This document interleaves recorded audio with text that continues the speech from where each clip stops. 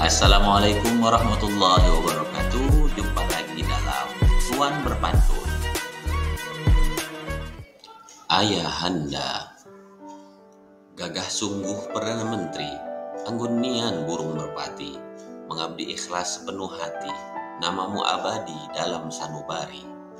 Kerah ditambat di pohon waru Kadang dipukul supaya jerah. Segala daya pasti dilaku Asal keluarga sehat sejahtera Berlari ke hulu takut dikejar, menanti tua datang sendiri.